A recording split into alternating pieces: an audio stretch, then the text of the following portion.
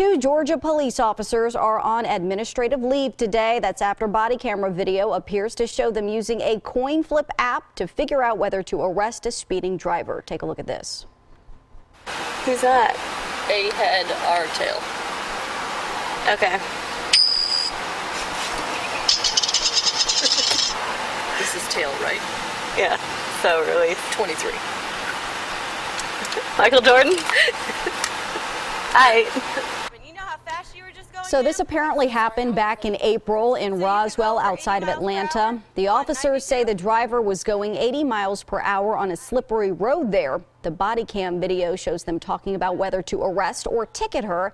That's when one officer can be heard saying A or arrest for heads and R or release for tails. The flip appears to result in tails, which they say would have been released, but the officers arrested that driver anyway. Those charges, however, against the driver have since been dropped.